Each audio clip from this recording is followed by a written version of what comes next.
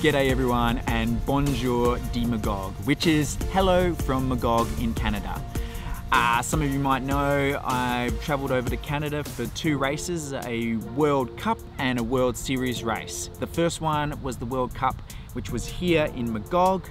Now I left Tuesday, this is like I got here seriously jet lagged. It was like 35 plus hours of traveling and I only got here two days before the race. So I knew that jet lag was going to have an impact on my race.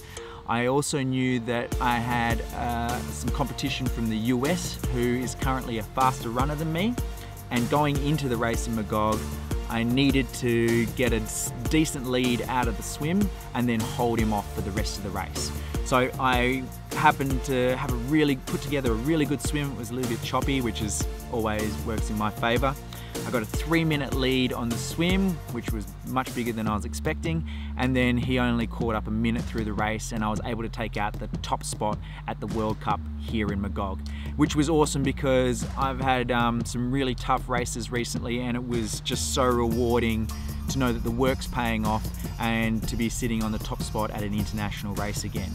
Now, moving forward from here, we stay here for another two weeks training in Magog and let me just give you an idea of what Magog has.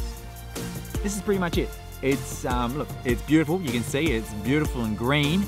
There is literally nothing to do here other than train, recover, eat and sleep, which, you know, I enjoy doing. So that's what we do here for the next week to acclimatize from jet lag, which is uh, exciting because I've never been in a place so long before the race where I can actually really recover from jet lag, get into some nice consistent training, and then get ready for the race. So excited to see how that will translate into the race in Edmonton. I've got some really tough competition in Edmonton and um, I'm hoping that being able to prepare properly and get over jet lag will make a massive difference come race day. Uh, one of the things that's unique about Edmonton, the race, is that there's a hill you have to go up four or five times.